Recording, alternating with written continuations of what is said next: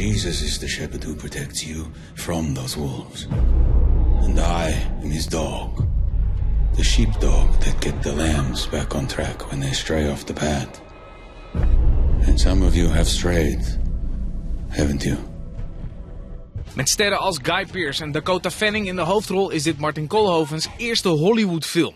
De lobby van het hotel waarbij de regisseur spraken was dan ook gevuld met media. Het is binnenkort verleden tijd, hè? Dat we Martin Koolhoven zo 1, 2, 3... Uh... Nee, dat zal toch wel niet? Dat zal toch wel... Uh...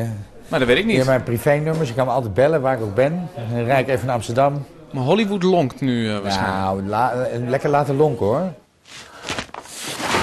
De grimmige western die zich afspeelt eind 19e eeuw in de VS gaat over Liz, gespeeld door Dakota Fanning. Zij wordt geterroriseerd door een uit Nederland afkomstige dominee, gespeeld door Guy Pearce. Ik citeer even een bijbelvaste, extreem bloederige, feministische western.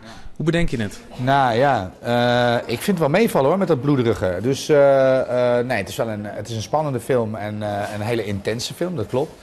En dat die feministisch is, dat, uh, uh, dat, heb ik ondertussen geaccepteerd. In de zin van dat ik dat niet van tevoren had bedacht. Het is een, uh, een film die gaat over sterke vrouwen. En ja, in die tijd, die, was niet heel, die was niet heel aardig voor, voor vrouwen. Dus uh, en toen de film af was, toen uh, bleken in één keer allerlei mensen de film feministisch te noemen. Maar ja, ik vind het prima. Het, uh, uiteindelijk wil ik natuurlijk gewoon een spannend mooie film maken. Koolhoven wilde naar eigen zeggen iets nieuws doen en zocht het qua thema's dicht bij huis. Als ik aan Nederland denk, dan is dat Calvinistische geloof is toch wel behoorlijk bepalend. En, en, en ik vind het ook heel interessant. Ik ben gelovig opgevoed. Niet zo extreem als, als in de film gelukkig.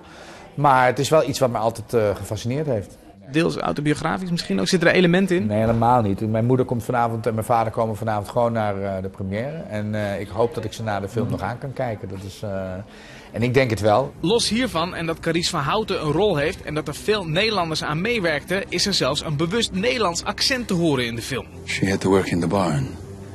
And she did not want you there.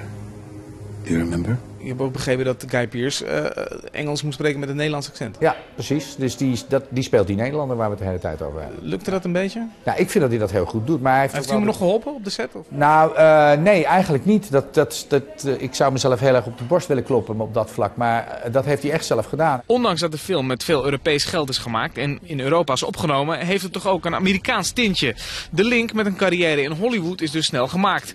Koolhoven gaat door met zijn verhaal van in het begin. Hollywood heeft voor hem al eens eerder gelonkt. Ik ben al uh, gebeld en gevraagd. Uh, sterker nog, dat was ik al uh, na oorlogswinter, maar nu weer. En tot nu toe zit daar nog niks bij wat ik, waar, waar mijn hart sneller door gaat Maar het is niet per definitie een nee tegen Nee, het is niet definitie een nee. Ik kan me voorstellen, er zijn films, ik noem maar wat, Fight Club of weet je wel. er zijn genoeg goede films die ik, als ik dat aangeboden zou krijgen, dat ik dan zou denken van nou, dan ga, ga ik het toch maar eens een keer, ga ik toch maar eens een keer proberen. I could tell you about hell. About its flames. About the pain. I'm sure you people have tried to imagine what it's like. It's worse. Brimstone gaat vanavond in première in Tuschinski en draait later in de week in meerdere zalen.